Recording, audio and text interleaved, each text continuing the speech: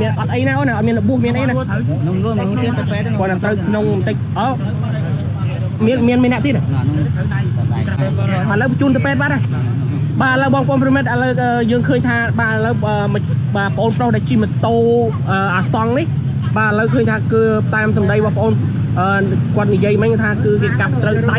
បាទគេកាប់ត្រូវដៃឥឡូវត្រូវបញ្ជូនទៅមន្ទីរពេទ្យហើយបាទហើយសូមជម្រាបជូនដែរគឺសក្តិកើតហេតុនេះគឺស្ថិតនៅតាមបណ្ដោយផ្លូវជាតិលេខ5បាទត្រង់ស្តុបនៅជាប់នឹងធនាគារ AC ដេដាដែលស្ថិតនៅក្នុងភូមិប៉ាឡេឡៃមួយសង្កាត់ប៉ោយប៉ែតក្រុងប៉ោយប៉ែតខេត្តបន្ទាយមានជ័យតែម្ដងបងប្អូនប្រិមិត្តបាទឥឡូវគឺយើងឃើញថាគណៈពេលនេះឃើញថា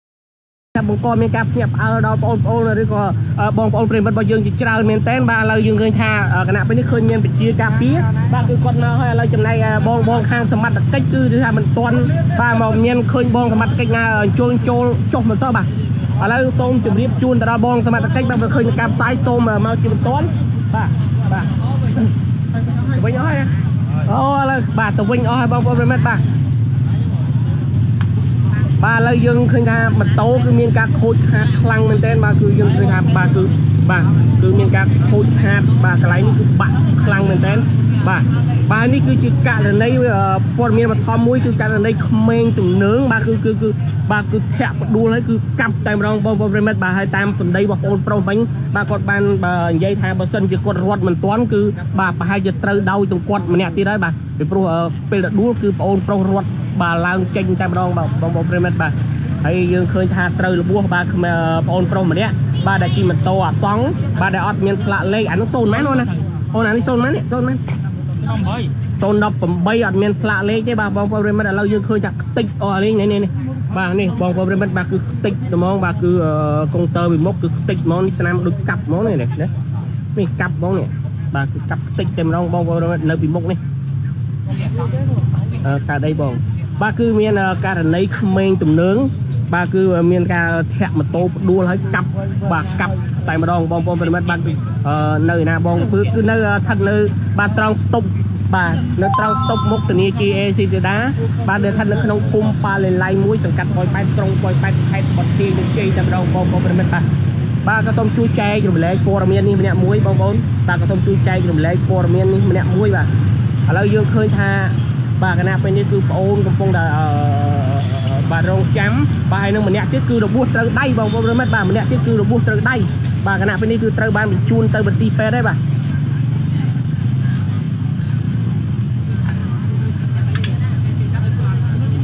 នេះបាទបងប្រុសអ្នកនេះពាក់អាវខ្មៅនេះបាទបងប្អូនបងប្រុសដែលពាក់អាវខ្មៅនេះបាទគឺគាត់ត្រូវ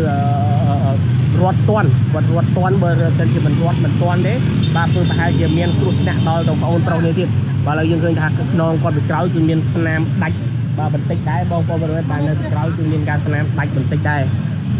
ហើយយើងឃើញថាម៉ូតូរបស់គាត់នេះគឺមានការបែកខូចខាតយ៉ាងខ្លាំងមែនទែនបងប្អូនបាទមានការខូចខាតយ៉ាងខ្លាំងបាទហើយពីមុខនោះក៏ខូចខាតបើយើងយើងយើងសង្កេតឃើញថាបាទនៅនៅពីមុខនេះក៏ខូចខាតខ្លាំងដែរបងប្អូនបាទ ខូចខាតខ្លាំងមែនទែនបាទនេះបាទម៉ូតូថ្មីបងបងបងប្រិមិត្តអើយបាទណាងអូនអាចចេះរត់ទាន់ណាបើរត់មិនទាន់វីវរបស់ពីដាញឹកហើយរឿងចឹង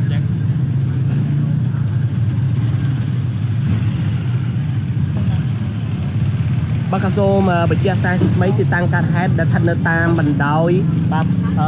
ផ្លូវជាតិលេខ5បាទស្ថិតនៅក្នុងស្តុបទល់មុខ AC លីដានៅក្នុងភូមិប៉ាលីឡៃ1បាទសង្កាត់ប៉ោយប៉ែតក្រុងប៉ោយប៉ែតខេត្តបន្ទាយមានជ័យតែម្ដងបងប្អូនប្រិយបាទគឺមានករណីបាទព័ត៌មានបឋមគឺក្មេងទំនើងបាទអឺបងអូនមិនដឹងច្បាស់ដែរថាមានគ្នាប្រហែលអ្នកបាទគឺមានធាក់ម៉ូតូដួលហើយគឺកាប់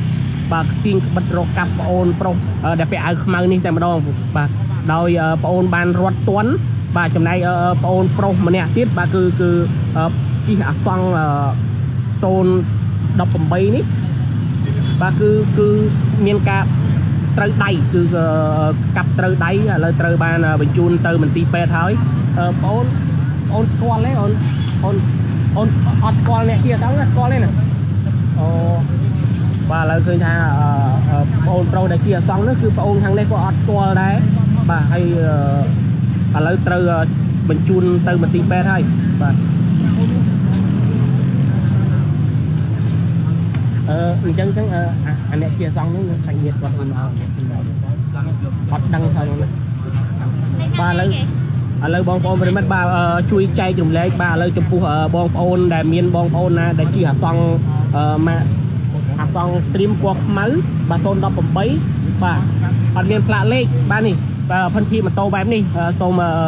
អឺជួយចែករំលែកដើម្បីឲ្យបងប្អូនគាត់ដឹងថាអឺអឺបងប្រុសគឺត្រូវបានក្មេងជំនឿអឺកាប់ត្រូវដៃរួចបញ្ជូនទៅមន្ទីរពេទ្យហើយបាទចំណែកអឺបងប្អូនរបស់គាត់គឺមិនទាន់បានដឹងឬក៏ដឹងហើយក៏យ៉ាងណាក៏សូមជួយចែករំលែកឲ្យអឺឲ្យបងប្អូនបានដឹងទាំងអស់គ្នាបាទ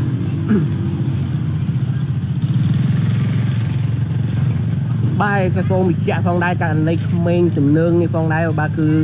បាទក្រុងប៉ោយប៉ែតយើងនេះបាទក៏យើងអឺក៏មានការយកចិត្តទុកដាក់អឺខ្លាំងដែរពីបងបងសមត្ថកិច្ចប៉ុន្តែឡើយគឺនៅតែមាន បាទនៅតែមាន បាទគឺនៅតែមានឥឡូវយើងឃើញថាម៉ូតូបងប្អូនគឺមានការខូចខាតអឺខ្លាំងមែនទែនបងប្អូនប្រិមិត្តបាទមានការខូចខាតខ្លាំងមែនទែនបាទចំណែកប្អូនដែលជិះម៉ូតូអសង្ឃនោះបាទគឺមិនដឹង បាទគឺគាត់មិនដឹងខ្លួនដូចគ្នាបាទគឺសុកសុកអត់ដឹងថាមូលហេតុអីគឺគេធាក់ផ្ដួលហើយគឺកាប់ត្រូវដៃតែម្ដងបងប្អូនប្រិមិត្តបាទហើយចំណែកប្អូនប្រុសគឺគាត់អត់មានដឹងមូលហេតុអីសោះបាទគាត់អត់ដឹងមូលហេតុអីសោះបាទគឺសម្រាប់តែដួលគេផ្ដួលហើយគឺបាទគឺគាត់គាត់នឹងងាកទៅឃើញក្បិតគេគឺប្រវារត់តែបងគឺគាត់អត់ដឹងបាទអត់ដឹងមូលហេតុហើយដោយបងប្រុសដែលជាសង្ឃនោះគឺគាត់ដួលអត់តន់ បងប្អូនប្រិយមិត្តបាទគឺគាត់រត់អត់តន់ជាស្រ័យគឺគាត់រត់អត់តន់បាទគឺបណ្ដាលឲ្យកាប់ត្រូវដៃតែម្ដងហើយយើងឃើញថាបាទមានការព្យាខ្លាំងមែនទែនបាទចំពោះបងប្អូនឥឡូវយើងយើងទៅសួរនោះឥឡូវប្រហែលជាបងប្អូនគាត់មកបាទបងប្អូនប្រិយមិត្តរៃអូនស្គាល់ហើយអូនស្គាល់ស្គាល់អ្នក kia អត់ទេណាបាទបាទ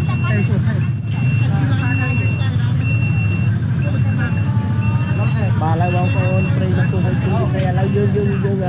អឺមានសួរបងបងដែលដែលដែលដែលនៅរត់តាក់ស៊ីនោះទេបើគាត់ដឹងបាទបាទព្រោះបងបងរត់តាក់ស៊ីនោះគឺឃើញថាគាត់នៅឈរនៅទីតាំងនេះតែម្ដងឥឡូវយើងទៅសួរគាត់មានដឹងករណីនេះទេបាទ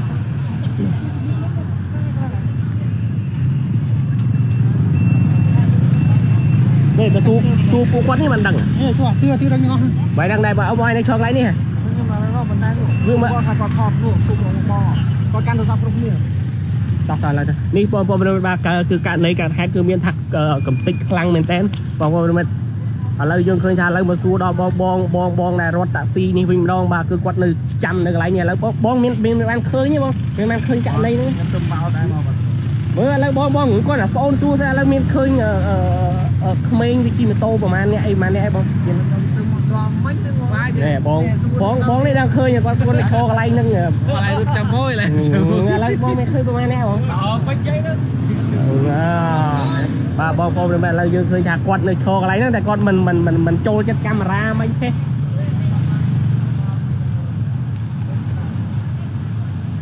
បាទក៏សូមបញ្ជាក់ទីតាំងសាថ្មីបាទស្ថិតនៅតាមបណ្ដោយផ្លូវជាតិលេខ5ស្ថិតនៅត្រង់ស្តុបអេស៊ីលីដាតែម្ដងបងប្អូនប្រិយមិត្តបាទមានករណីក្មេងជំនឿបាទគឺធាក់ម៉ូតូផ្ដួលបាទនឹងកាប់តែម្ដងបងប្អូនប្រិយមិត្តនេះជាព័ត៌មានបឋមហើយបើតាមបង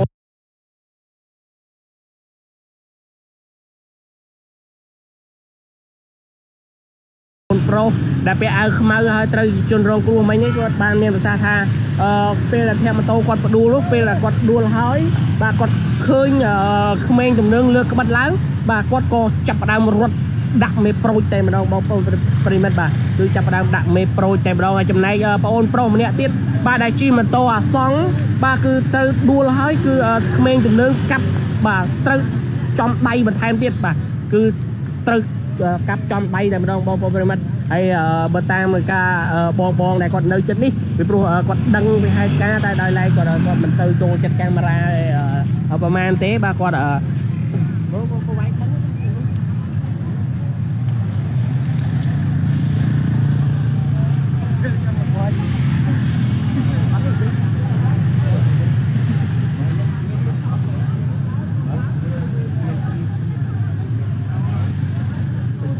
ពីទៅវាចាក់វា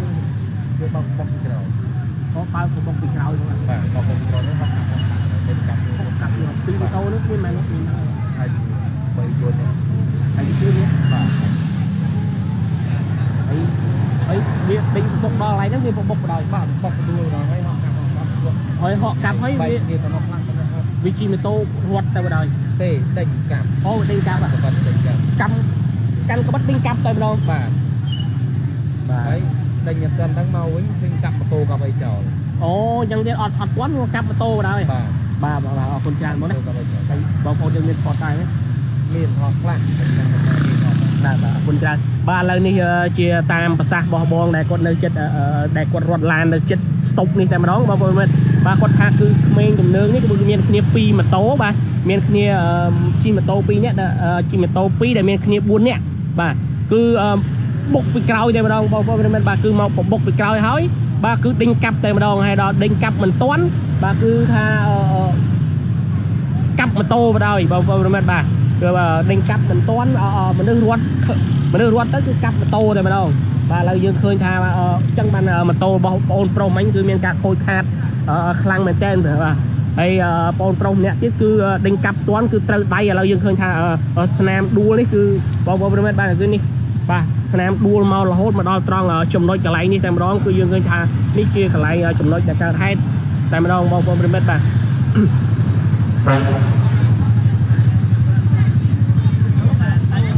យើងមានអាចទៅវិលេយើងដែរតែបើសិនដាក់ពាក្យដេញហើយម៉ូតូមកវិញចុះនេះនេះនេះចាំម៉ូតូនេះទៀតដាក់ប្រយោជន៍មកមក Dạ, trăm tôi đó.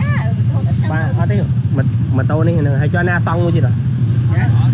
អូអត់ត Dạ, ង់មួយ qua ទៀត đây ta. យកទៅបាត់ហើយ Dạ. À, mẹ cặp đúng là trăm tôi đó ngày, trăm tôi với tao bắt đây ta. អញ្ចឹង Dạ. មកជាងតាមបានហើយ Ở chăm ăn đúng thế mình chăm ấy, nó chăm ăn như này ở rong chùa. នៅអីគេសម្បត្តិទៅយ៉ាងហ្នឹងនៅទៅជួយបាន Đó, tôi chết chứ. បាទឥឡូវឃើញថាម៉ូតូគាត់ខូចខាតហើយគាត់ក៏មានដាក់ពាក្យដឹងដែរទេ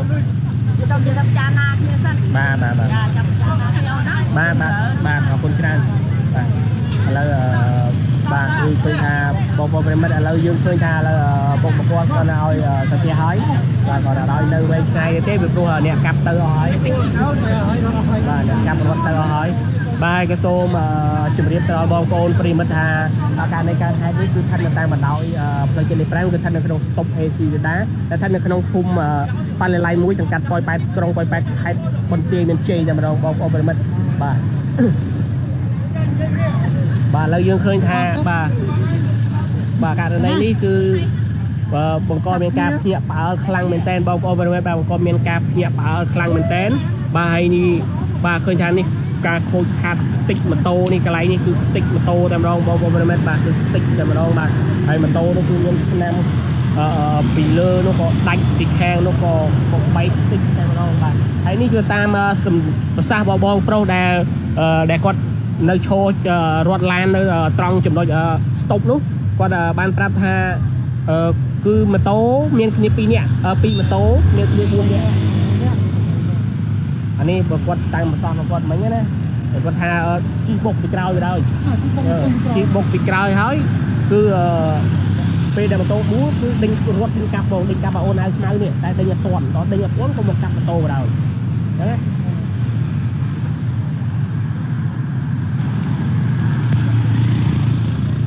បាទឥឡូវបងប្អូនប្រិមិត្តទស្សនិកជនជាទីមេត្រីគណៈពេលនេះខ្ញុំបាទរស្មីបាទក៏សូមធ្វើការបញ្ចប់ការផ្សាយ